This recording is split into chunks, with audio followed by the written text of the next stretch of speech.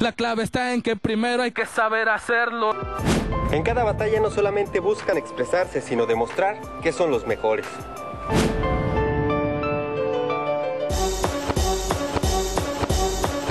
Es la nueva forma de cantar el rap. Sigo vigente explotando ante el micro representando a Podaca. Lo mío es realismo, las mentiras no me opacan. Él es Alexis. Junto a sus amigos se reúne para componer rimas instantáneas que aniquilan a sus rivales. O sea, las batallas son así en la calle sin censura y decir lo que tú piensas.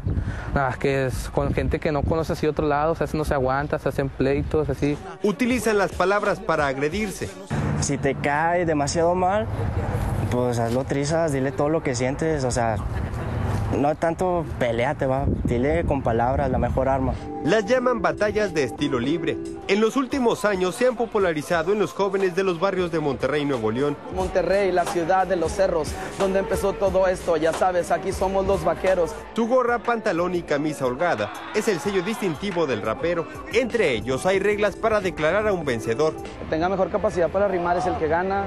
O sea, humillas a tu rival, vaya, o sea, le ganas. Ángel tiene 10 años rapeando y ahora es el juez de estas batallas. O sea, que realmente juegues tú con, con las, las palabras y que, que la banda vea que tienes mucha capacidad para poder acá. La banda también ve mucho eso y que, que encajes. Es como una forma de vida, una forma que me ayuda a expresarme, tanto sentimientos, emociones y todo, o sea, todo lo que nos pasa, todo lo vivido, lo que vemos, lo que pensamos y todo ese rollo. A través del rap se comunican y se alejan de la delincuencia una oportunidad de, de, verbalizar muchas cosas, de verbalizar coraje, de verbalizar angustias, de verbalizar miedos. Lo que yo saco te va gustando. Y, y, lo que se tramita por vía de la palabra nos permite acomodar muchas cosas en la vida cotidiana. A ellos no les importa el qué dirán, prefieren seguir luchando para ser reconocidos por lo que hacen.